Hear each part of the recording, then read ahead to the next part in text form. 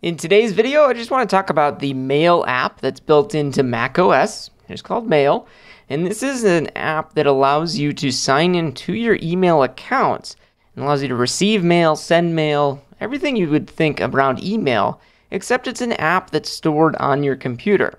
So if you're used to using maybe Gmail or like a Yahoo email address, you usually would go to the website through Safari or another web browser, log into your email account, and maybe it's already logged in, but you load that email account and then you see your email messages there.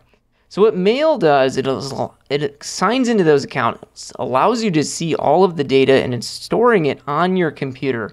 In addition to it being out on the internet, so it can be much faster to interact with your email using the Mail app.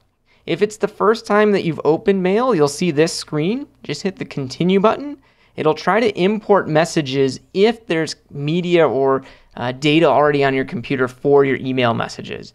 In this account, though, there's no previous email accounts. So there's nothing for it to read. So it's going to ask which of these providers am I using for, for mail. So you would select your account on here. If you're not using one of these email providers, you can click on other and then say continue. And when you do other, it'll ask you to sign in with the email address and password, and then ask you for the settings for that account if it can't find it automatically. If you're unable to find the settings, or if it asks you for, say, an incoming mailbox, um, or sorry, incoming mail server or outgoing mail server, and you don't know those, you'll want to go to your email provider and ask for those. And they should be able to provide those. Usually they're listed right on their website. So if you have one of these accounts, though, really easy. You just select the type of account that it is, hit continue, and then you'll sign in with those uh, with that with those credentials so that you can sign right in. And for the purposes of this demo, I've just added one of my iCloud email accounts to this user account, and I'll keep all the messages blurred out just to protect the identities of those users. But in this mail app, we see a, a couple different buttons across the top for our toolbar. We have an option to create a new message. Uh, we can hit get mail, which will refresh and check for new messages. And you can see there we get a whole list of messages come right in. On the left column, you might see those little blue dots that represents an unread message. So unread messages show up that way. And on the right side, it says no message selected, but that's where we'll see all of the details for that message. So let me just click on this first message here from Glassdoor. And we can see on the right side that message. I can go through and read the message, scroll through it, see the contents, click on any links, just as you'd expect. It's email, there's not much to it.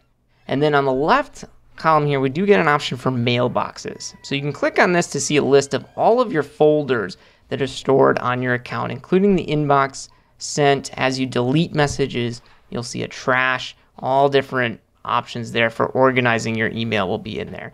So it's pretty straightforward. Again, not much to it. It's just email, but it's all stored here locally on the computer after it downloads. So a few tips I do want to throw out there. Under the window menu, there's an option to see activity and the connection doctor. The activity will show you what's happening behind the scenes of the mail app. So this is a great place for you to go to check to see what's happening. Right now there's no activity, but if you're sending an email, say with a video that you exported, it may take some time. So you can use this activity window to monitor that message being sent or see if something's stuck in receiving. You might be downloading new mail and not know what's happening. Go up to this activity window and you can monitor that. In addition to activity, the other other window is the connection doctor. And the connection doctor shows us the connections we have from the mail app to the servers that's actually supplying this email. And for most accounts, you're going to have both an IMAP or an incoming mail server and an SMTP server, which is the outgoing mail server.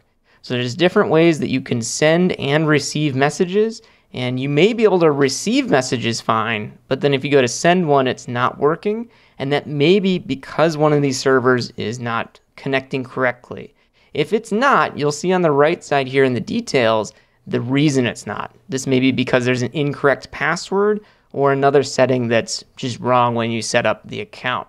So if that happens, just double click on the one that's having an issue it'll open up the preferences for mail and select that account so that you can then look at this and make the correction. You might need to update the host name or the password, but either way, the connection doctor is what makes it really easy for you to get to that, uh, of diagnose the problem and see exactly where you need to get to fix that. So that's my couple little tips for mail. If there's something specific you'd want to see uh, or a question you still have about mail, leave it in the comments below. Or like always, you can send me an email, finalcutprohelp at me.com. Otherwise, have a wonderful rest of your day.